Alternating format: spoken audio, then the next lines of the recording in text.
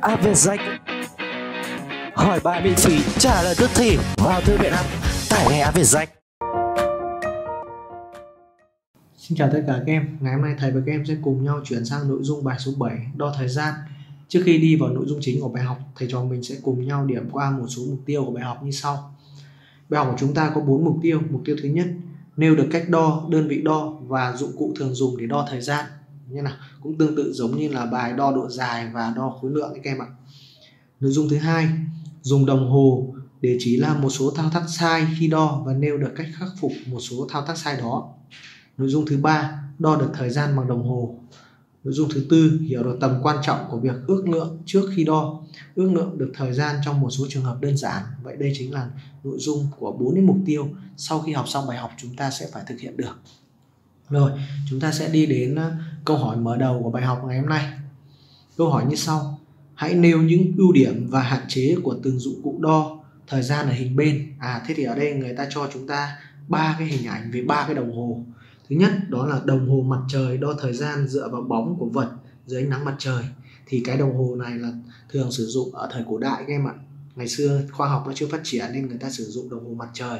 Ở đây là người ta dùng một cái à, thông thường người ta làm bằng đá các em ạ. Đấy, một cái đĩa hình tròn như này và người ta khắc người ta chia các vạch như này. Đấy để chỉ giờ đấy. Giống như mặt đồng hồ chúng ta bây giờ và người ta chia nhỏ thành các uh, khoảng cách bằng nhau. Sau đó ở bên trên thì người ta có một cái uh, cọc như này chẳng hạn hoặc ở trên này người ta có một cái gắn một cái tấm uh, một miếng đá một miếng đá có hình dạng như này chẳng hạn. Đấy thế thì khi mà ánh nắng mặt trời chiếu vào thì bóng của cái tấm này nó sẽ in trên hình cái đĩa này đấy và người ta sẽ dựa vào cái bóng của nó để người ta xác định được thời gian trong ngày. Thế thì tuy nhiên thì các em thấy là gì nhỉ? Nó cũng sẽ có những cái ưu điểm và có những cái hạn chế của nó thì chúng ta sẽ nghiên cứu cụ thể. Đấy. Tương tự như vậy thì ở hình B đồng hồ cát đo thời gian dựa vào lượng cát chảy xuống. Đấy, thì chúng ta thấy là gì đồng hồ cát ở đây thì bây giờ người ta cũng ít sử dụng chủ yếu là dùng để làm à, vật trang trí hoặc làm đồ lưu niệm thôi các em ạ. Đó. Cái thứ ba đó là đồng hồ điện tử chúng ta sử dụng trong cuộc sống hiện đại rất là nhiều. Đó. Thì bây giờ chúng ta sẽ nêu những ưu điểm và hạn chế của từng dụng cụ. Đầu tiên là đối với đồng hồ đo mặt trời thì chúng ta thấy là gì nhỉ? Ưu điểm của nó ở đây chính là dựa vào bóng của cột thay đổi. Đúng nào? Dựa vào cái bóng của cái uh, cột thay đổi hướng và chiều dài để xác định vào buổi trưa hay buổi sáng hay buổi chiều. Tuy nhiên vào buổi tối thì có xác định được hay không các em? Thì buổi tối ở đây thì không thể xác định được bởi vì buổi tối thì không có bóng nắng mặt trời không có ánh sáng mặt trời. Nên hạn chế của nó ở đây là gì nhỉ? Không hoạt động vào buổi tối không hoạt động vào ban đêm vì nó không có ánh sáng mặt trời. Thì đấy chính là hạn chế của nó. Còn ưu điểm của nó ở đây là gì? Ưu điểm của nó ở đây là không sử dụng nhiên liệu uh, uh, không sử dụng nhiên liệu uh, nào mà phức tạp. Ở đây là chủ yếu là sử dụng cái ánh sáng mặt trời mà thôi đúng không sử dụng uh, ánh sáng mặt trời. Đó. Thế thì khi đó chúng ta thấy thêm một cái ưu điểm nữa là nó ít bị hỏng hóc dễ sửa chữa bởi vì cấu tạo như này thì quá là đơn giản rồi đúng chưa nào? Ít bị hỏng hóc. Nó lại làm bằng đá nữa thì ít khi bị sửa chữa. Đấy, ít bị hỏng. Đấy, thì đấy chính là cái ưu điểm. Còn hạn chế của nó ở đây thì là không hoạt động vào ban đêm hay vào những cái ngày mà không có ánh sáng mặt trời. Đấy chưa nào? Tiếp theo là một cái à đấy là cái nhược điểm đấy là cái nhược điểm của nó cái hạn chế của nó. Cái hạn chế tiếp theo ở đây nữa là gì nhỉ? Nó cũng có thể là không chính xác không chính xác bởi vì là cái xác suất à, cái cái cái độ chính xác của nó không cao. Bởi vì là khi mà à, những cái góc chiếu ở mặt trời nó khác nhau thì nó sẽ cho những cái bóng phản chiếu khác nhau. Đấy đấy là một cái hạn chế nữa. Cái hạn chế thứ ba ở đây là cái này nếu như mà nó làm bằng đá thì khối lượng của nó cực kỳ lớn rất là lớn cồng kềnh đúng như nào? Đấy thì đấy chính là ba cái hạn chế của cái đồng hồ mặt trời. Thì chúng ta cũng có thể ghi như sau.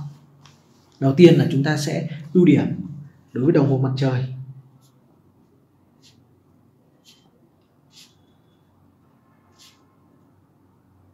Chúng ta sẽ có ưu điểm. Nó là gì nhỉ? À, không sử dụng nhiên liệu.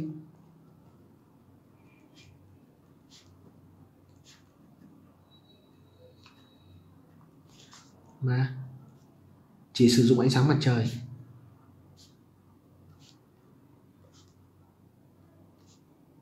Mặt trời là nguồn năng lượng vô hạn, đúng không nào các em? Đấy. Thứ hai nữa là nó ít bị hỏng hóc. Ít bị hỏng. Dễ sửa chữa. Đó chính là cái ưu điểm của cái đồng hồ mặt trời. Tiếp theo chúng ta có nhược điểm hay là hạn chế đấy. Nhược điểm của nó đây là gì nhỉ? Nó sẽ không hoạt động vào những ngày mà không có ánh sáng mặt trời và ban đêm. Không hoạt động vào ban đêm. Và những ngày không có ánh sáng mặt trời.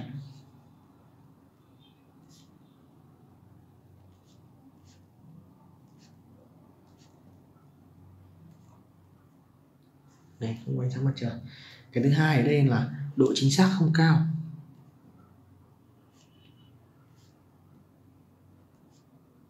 Độ chính xác không cao. Cái thứ ba nữa là gì nhỉ? Khối lượng lớn. Cồng cành, khó di chuyển đúng chưa nào? Thì đấy là ba cái nhược điểm của đồng hồ mặt trời. Tiếp theo là chúng sẽ chúng ta sẽ sang đó là đồng hồ cát. Thế thì đồng hồ cát ở đây thì là như thế nào nhỉ? Hoạt động của nó ở đây, nguyên tắc của nó ở đây sẽ là dựa vào cái lượng cát ở cái phễu bên trên chảy xuống phễu bên dưới. Nếu như mà phễu bên trên này hết thì lại người ta lại phải lật ngược lại để cho nó chảy ngược lại, đúng chưa nào? Đấy. Thế thì cái ưu điểm của nó đây là được dùng để làm trang trí, đúng chưa nào? Hay là dùng để làm quà tặng, trang trí, thì đấy chính là cái ưu điểm của nó. Thế thôi. Còn cái nhược điểm của nó thì cái đồng hồ cát ở đây là chỉ sử dụng để đo những khoảng thời gian ngắn thôi, bởi vì là các em thấy là một cái bình như này để một cái lượng cát nó chỉ là vừa phải thôi, thì nó sẽ chảy một thời gian thì nó sẽ hết, nó hết ở cái phễu bên trên thì người ta lại phải lật ngược lại một thêm một cái thao tác nữa, đúng chưa? Thế thì đồng hồ cát ở đây thì cái nhược điểm, cái hạn chế của nó ở đây là chỉ sử dụng để đo được những khoảng thời gian ngắn, đúng chưa nào? Thậm chí có thể là vài giờ hoặc là vài phút mà thôi đúng chưa? Cái thứ hai nữa là độ chính xác của nó cũng không cao bởi vì là nó sẽ phải dựa vào cái lưu lượng cát ở đây chảy này đấy. Đấy. được chưa nào các em thì chúng ta cũng có thể thấy ở đây là đối với đồng hồ cát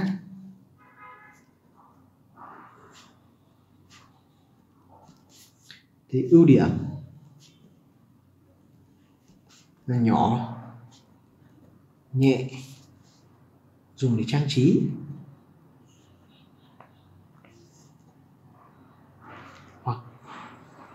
làm quà tặng. Để trưng bày thôi các em ạ. Được chưa? Cái thứ hai là nhược điểm. Đầu tiên là chỉ đo được những cái khoảng thời gian ngắn.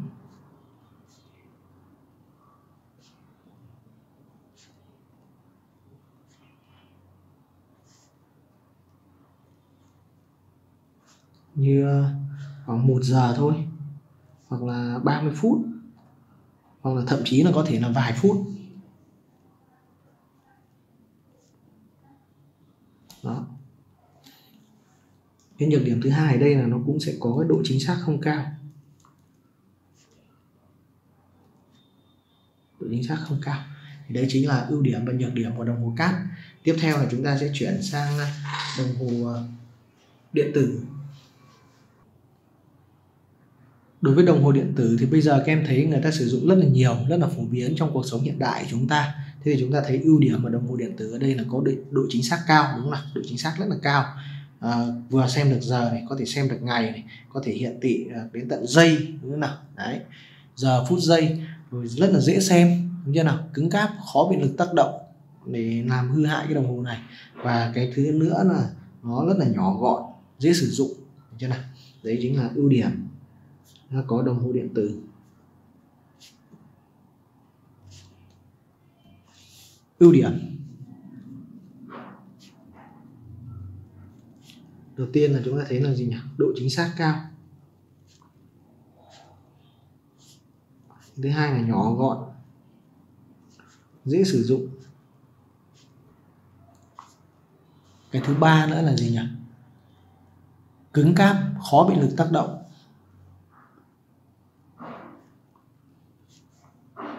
Bền. Đấy, bền. Tiếp theo chúng ta chuyển sang phần nhược điểm. Nhược điểm của nó đây là gì nhỉ? Nếu như mà chúng ta sử dụng lâu dài sau một thời gian thì chúng ta lại phải thay pin cho nó đúng không? Đối với đồng hồ điện tử thì chúng ta phải thay pin hoặc là chúng ta phải cắm điện cho nó. Tiếp theo nữa là một cái nhược điểm nữa là nó sẽ khó khó sửa chữa khi mà nó bị hỏng hóc. Bởi vì là đòi hỏi cái thao tác sửa chữa rất là kỹ thuật nó rất là cao. Đấy khó sửa chữa. Đấy, cái thứ hai là phải thay pin. Sau một thời gian sử dụng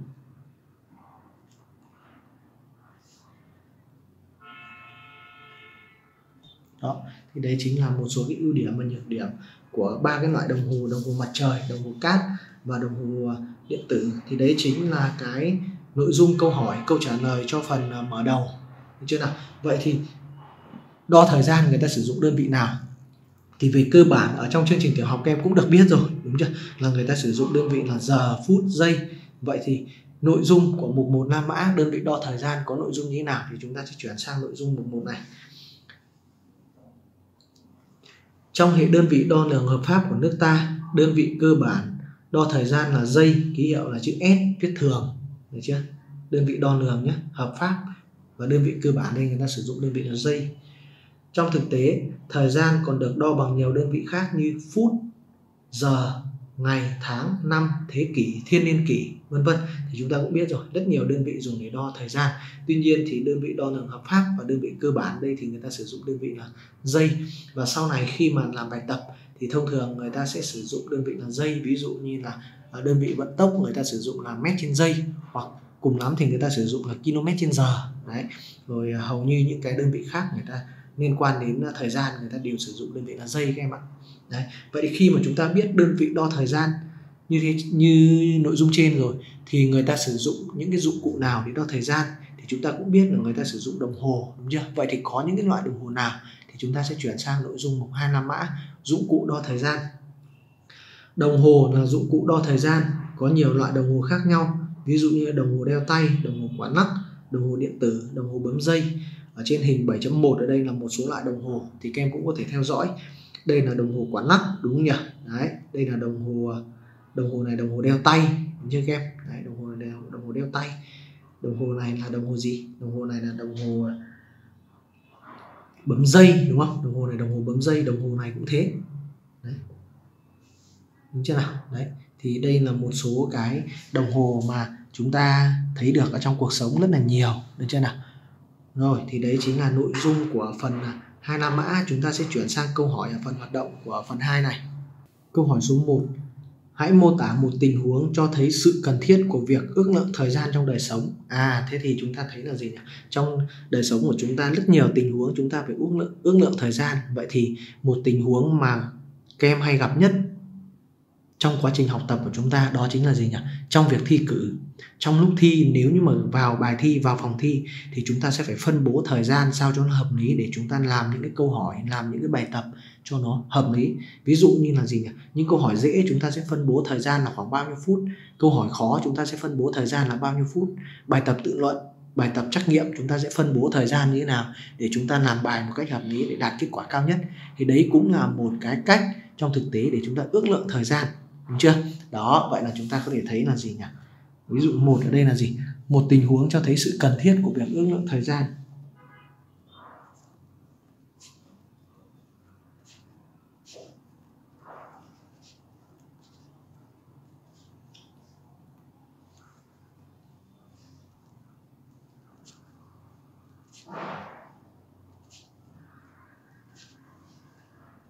Trong đời sống ví dụ như là gì? Ví dụ như là trong lúc thi, chúng ta cần phải ước lượng thời gian để phân bố thời gian làm bài một cách hợp lý.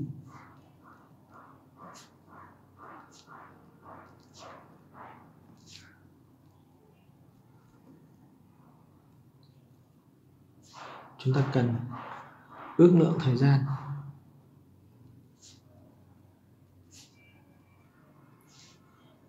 Để phân bố thời gian làm bài một cách hợp lý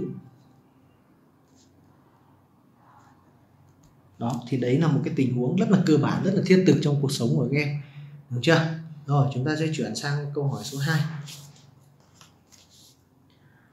Hãy ước lượng thời gian đi bộ một vòng quanh lớp học, có thể dùng cách đếm thầm từ 1 giây, 2 giây, 3 giây, vân vân. Sau đó kiểm tra kết quả ước lượng bằng đồng hồ. Thế thì ở đây người ta uh, cho em một cái ví dụ, ví dụ như là chúng ta sẽ ước lượng thời gian đi bộ một vòng quanh lớp học. Vậy thì chúng ta sẽ làm như thế nào? Vậy thì cái cách kiểm tra của chúng ta như thế nào? Thì chúng ta sẽ thực hiện hai bước cơ bản như sau thầy có thể gợi ý cho các em. Bước một là chúng ta sẽ bắt đầu bước đi thì chúng ta sẽ dùng cái đồng hồ chúng ta bấm dây khi nào chúng ta bắt đầu bước thì chúng ta sẽ dùng cái đồng hồ chúng ta bấm dây nhé và bước thứ hai ở đây là gì chúng ta sẽ không nhìn vào đồng hồ và chúng ta cứ bước thôi mỗi một bước thì chúng ta sẽ đếm là một giây chúng ta đếm thầm và chúng ta nhớ là chúng ta phải bước đều nhé các em nhé Đấy, chúng ta phải bước đều thế thì mỗi một bước chúng ta sẽ đếm thầm là một giây khi nào chúng ta đi vòng quanh hết một hết lớp học thì chúng ta sẽ dừng đồng hồ lại sau đó chúng ta sẽ so sánh cái giây mà chúng ta đếm được với cái số giây hiển thị ở trên đồng hồ đó thì đấy là cái cách mà chúng ta sẽ kiểm tra được chưa vậy ở đây thầy có thể gợi ý cho các em đó là cách kiểm tra kết quả ước lượng thời gian cách kiểm tra. Kết quả ước lượng thời gian.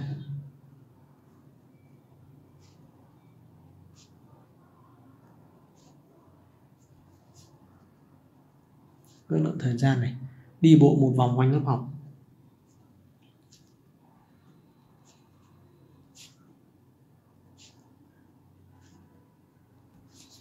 Bước 1 là chúng ta sẽ như thế nào nhỉ bắt đầu bước đi thì chúng ta sẽ bấm đồng hồ.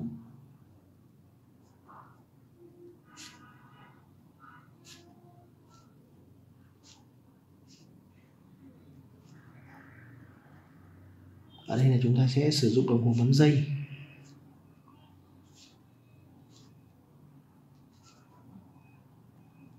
Đó, bước 2 chúng ta sẽ không nhìn vào đồng hồ.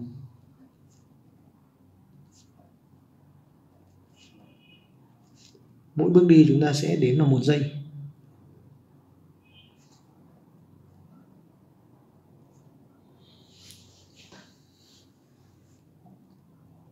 Đếm thầm. Là một giây. Chỗ này chúng ta phải lưu ý là bước đều. Chúng ta không bước xong rồi chúng ta lại dừng, xong rồi chúng ta lại bước. Và chúng ta phải bước đều liên tục. Đấy và đếm cho, đến khi nào mà chúng ta đi được một vòng?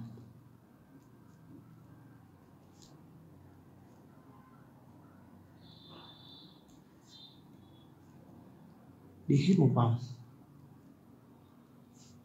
Thì đồng thời chúng ta sẽ bấm dừng dừng đồng hồ.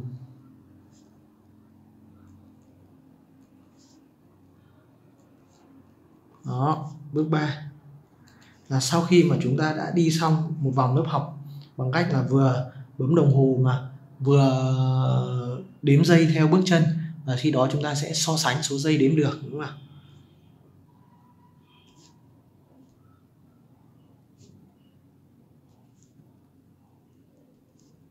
Với đồng hồ bấm giây thì đấy là cái cách mà chúng ta sẽ ước lượng được thời gian đi bộ một vòng quanh lớp học.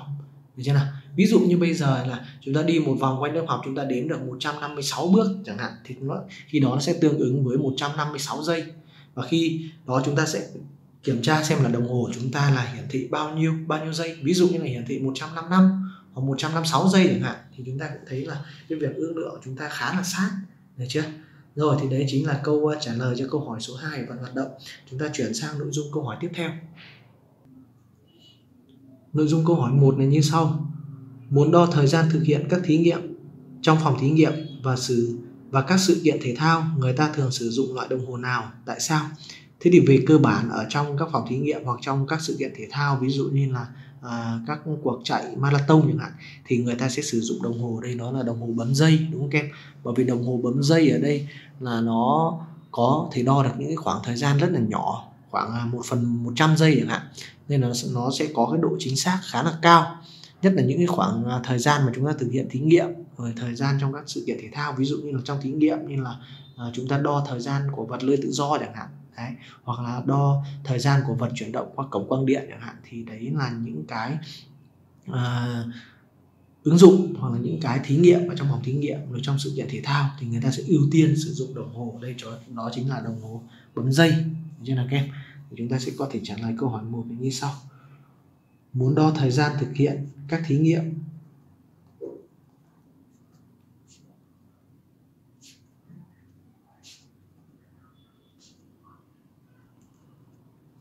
các thí nghiệm. Trong phòng thí nghiệm,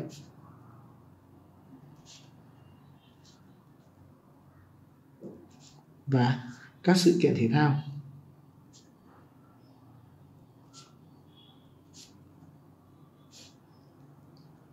Người ta thường sử dụng đồng hồ bấm dây.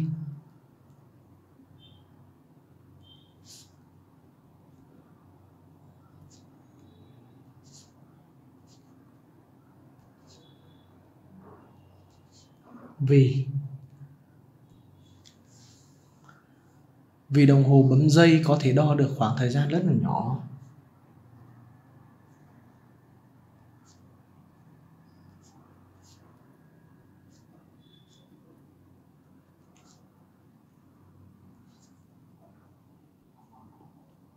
Khoảng thời gian rất là nhỏ. Khoảng à, một phần một trăm giây. Đấy, một phần một trăm giây nên là khi đó nó sẽ đo được rất là chính xác và đồng thời đây là nó dễ sử dụng.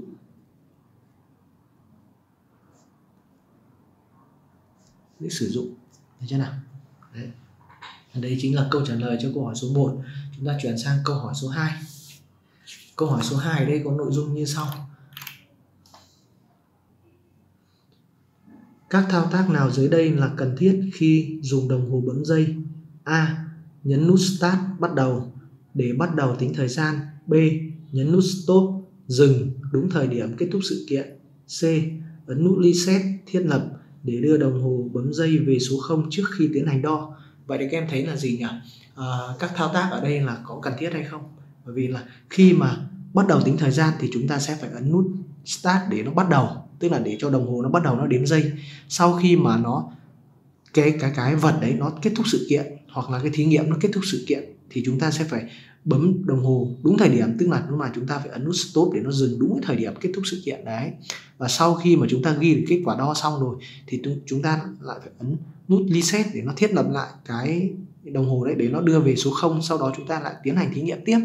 Được chưa nào? Thì ba cái thao tác ở đây là chúng ta thấy rất là cần thiết, ba thao tác cơ bản và cần thiết để sử dụng đồng hồ bấm dây. Được chưa nào? Vậy chúng ta có thể trả lời câu hỏi số 2 như sau. Tất cả các thao tác trên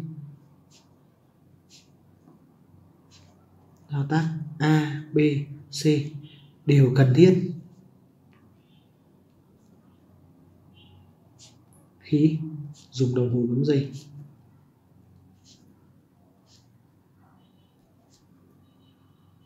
Nhất là các ba thao tác này là ba thao, ba thao tác cơ bản và cần thiết sử dụng đồng hồ bấm dây. Rồi, chúng ta sẽ chuyển sang câu hỏi ở phần à, hoạt động. Tiếp theo, chúng ta có là gì nhỉ? Câu hỏi như sau dùng đồng hồ bấm dây đo thời gian hát bài đội ca của đội thiếu niên tiền phong Hồ Chí Minh. À tức là ở đây người ta yêu cầu chúng ta dùng đồng hồ bấm dây để đo thời gian hát cái bài hát này. Vậy thì thao tác ở đây chúng ta vẫn sử dụng ba cái thao tác bên trên. Được chưa? Đầu tiên là chúng ta sẽ uh, khi mà đội ca bắt đầu hát thì chúng ta sẽ ấn nút start để bắt đầu đo thời gian và khi mà đội uh, thiếu niên tiền phong này dừng bài hát thì chúng ta sẽ nút stop để chúng ta đo được cái thời gian mà đội đội uh, thiếu niên này hát cái bài này. Được chưa nào? Vậy chúng ta cũng hoàn toàn có thể đo được hoàn toàn sử dụng được cái đồng hồ để bấm dây để đo được cái thời gian bài hát. Vậy thì chỗ này chúng ta có thể trả lời như sau. Ví dụ chúng ta sẽ dùng đồng hồ bấm dây. Thì thao tác ở đây là khi à, đội thiếu niên bắt đầu hát.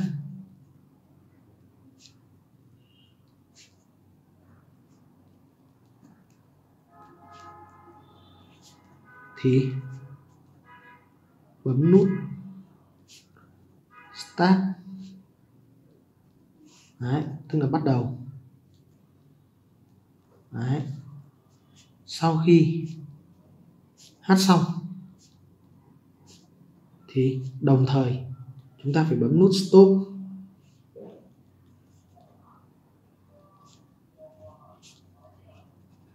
Để kết thúc.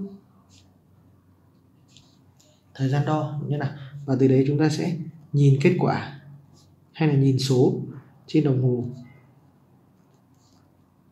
để xác định thời gian.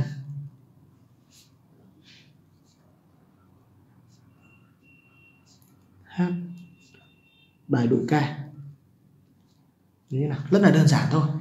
Được chưa nào? Ví dụ như là à, chúng ta dùng đồng hồ chúng ta có thể bấm được là hát được là khoảng 1 phút 41 giây chẳng hạn. Đấy, rất là nhiều. Vậy này cái thao tác sử dụng đồng hồ à, bấm giây này rất là đơn giản thôi.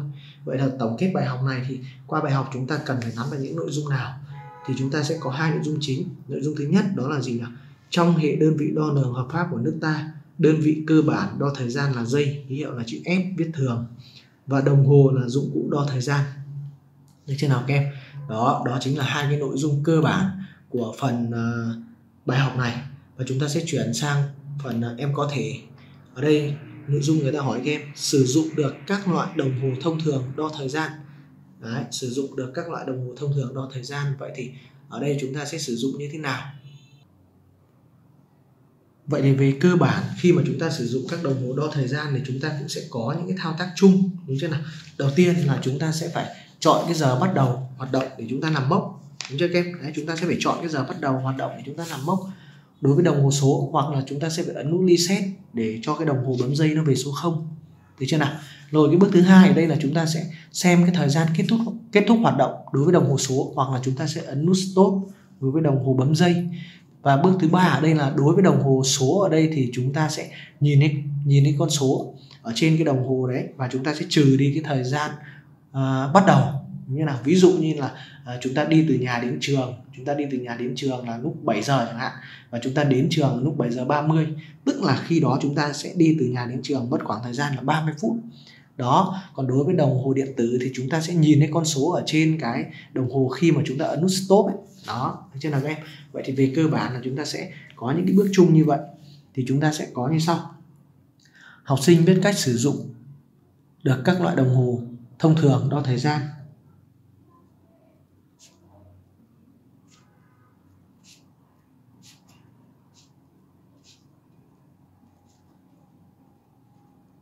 Đồng hồ thông thường. Đo thời gian đó, chúng ta sẽ có bước 1 là chúng ta sẽ phải chọn giờ bắt đầu hoạt động.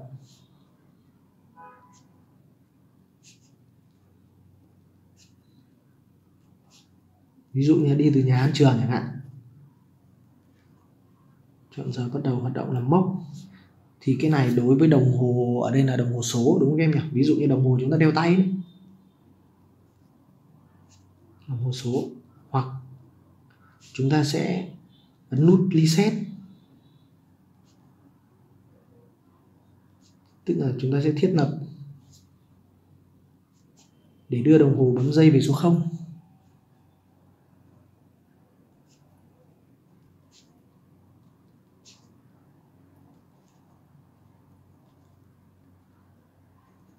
bước 2 bước 2 là chúng ta sẽ xem giờ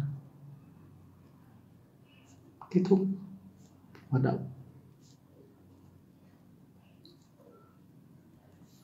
Đối với đồng hồ số,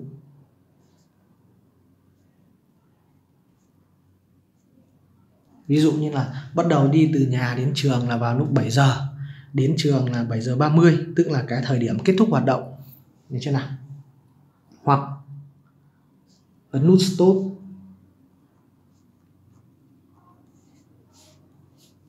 Đối với đồng hồ bấm dây.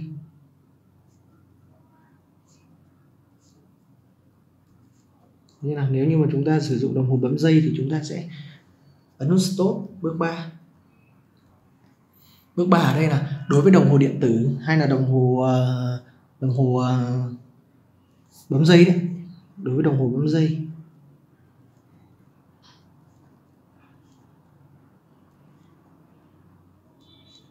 Thì con số mà nó hiển thị đấy. Cho biết cái thời gian mà cái hoạt động đó thực hiện. Hay là thời gian thực hiện hoạt động.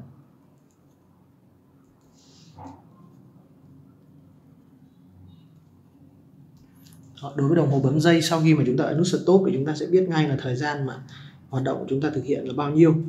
Còn đối với đồng hồ à, số. Thì thì chúng ta phải lấy cái thời gian kết thúc mà trừ cái thời gian à, làm mốc, đúng chưa nào? Hay là thời gian thực hiện hoạt động?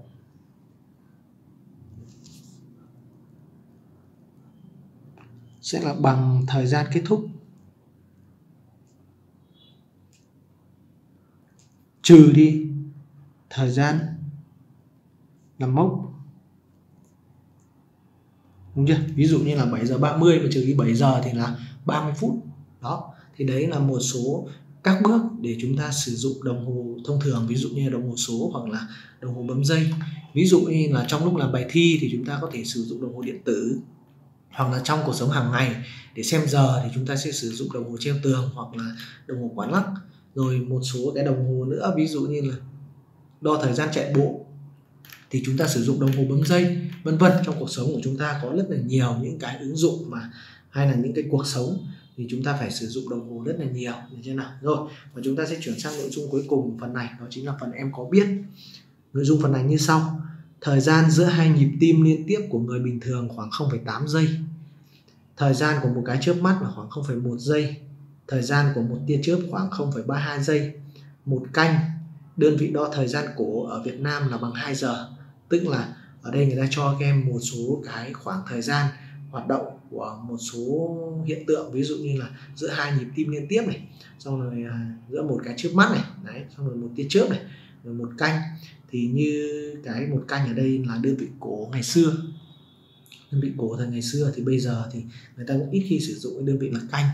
Thì trên này của em, và đây cũng chính là cái nội dung cuối cuối cùng kết thúc bài học số 7 đo thời gian. Đến đây thầy xin kết thúc bài học hẹn gặp lại các em ở những bài học tiếp theo. Khóa học về rách. Sự lựa chọn của hàng triệu phụ huynh và học sinh. Trải nghiệm ngay khóa học của Việt Rách.